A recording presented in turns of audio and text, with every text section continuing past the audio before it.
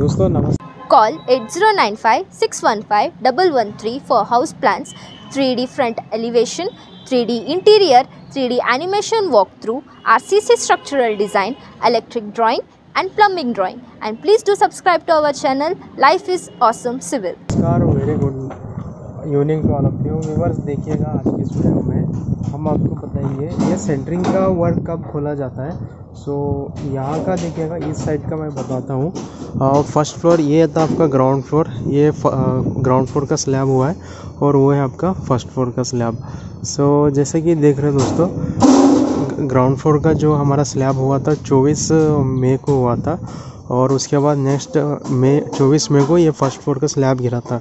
उसके बाद next first floor का स्लैब जो है 21 अगस्त, मार्च, अप्रैल, मई, जून, जुलाई, अगस्त आफ्टर थ्री मंथ के बाद ये ऊपर का स्लैब गिरा है। तो उसके बाद नेक्स्ट नेक्स्ट देखिएगा, ये कब खोलना सेंटरिंग का काम कब खोलना, ये कुछ आपको भी एक नॉलेज चाहिए ना। मेरा mobile number eight zero nine five six one five double one three हर किसी को कुछ रिक्वायरमेंट है house planning three D front television design तो आप हमें ये करते हैं। So after twenty one days के बाद यहाँ पर मतलब पंद्रह दिन के बाद आप खोल सकते हो, कोई प्रॉब्लम नहीं।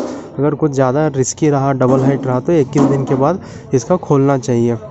खोलने के बाद तुरंत आप लोग इसको ढांचा मार देना। अभी यहाँ का सेंटरिंग का वर्क है, देखो, ये पूरा खुदाई का काम चल रहा है। सो अभी मैं आपको दिखाता हूँ। थोड़ा बहुत कुछ जो भी कंप्लीट हुआ है, उसके बाद फुल एक वॉक थ्रू दिखाता हूँ। तो सेंटरिंग कब खोलना, कब नहीं, वो मैं आपको बता देता हूँ। सो देखिएगा, इस तरह से अभी चल रहा है काम।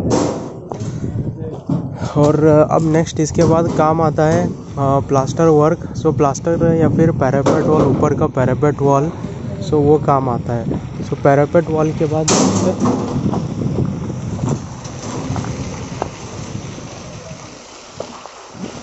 अभी पूरा जितना भी है, अब निकल गया. इसके बाद नेक्स्ट प्लास्टर का काम शुरू होता है. सो प्लास्टर करने से पहले आप लोगों को प्लम्बिंग और इलेक्ट्रिकल का जो भी पेंडिंग रहता देखो, वो वाला काम आप लोग खत्म कर दीजिएगा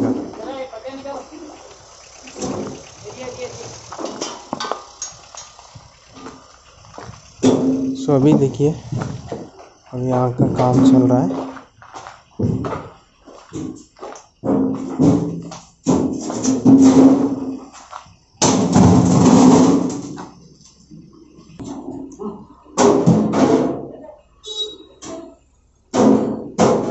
तो सदिया ये ग्राउंड फ्लोर का हुआ था फ़र्स्ट फ्लोर का एक्सकेवेशन मतलब पूरा स्लैब का ये निकाले जा रहे हैं।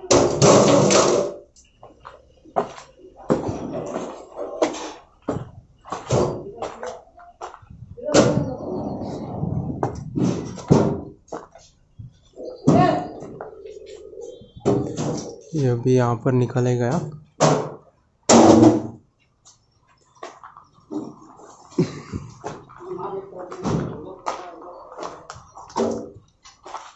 तो सदिया ये भी अभी नेक्स्ट ये बेडरूम का फ़र्स्ट निकलेगा यहाँ पर।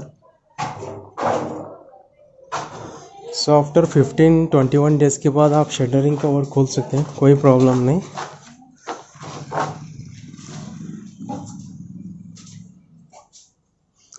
अब इसके बाद नेक्स्ट वर्क है, वो आपका प्लास्टर हो या फिर इलेक्ट्रिकल पॉइंट्स मेन अब शुरू हुआ था दोस्तों इंटीरियर डिज़ाइनर को। कब बुलाना उनको एक डाउट रहता देखो आप लोगों को।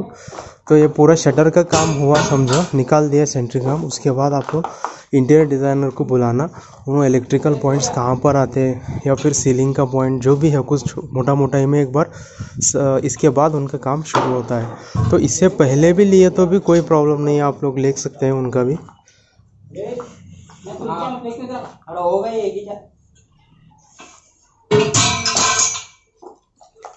सो दैट्स इट ये पूरा एम टी है के पूरा एवैक्यूएट होने के बाद मैं और एक वीडियो बनाऊँगा। तो आप लोग देख लीजिएगा ओके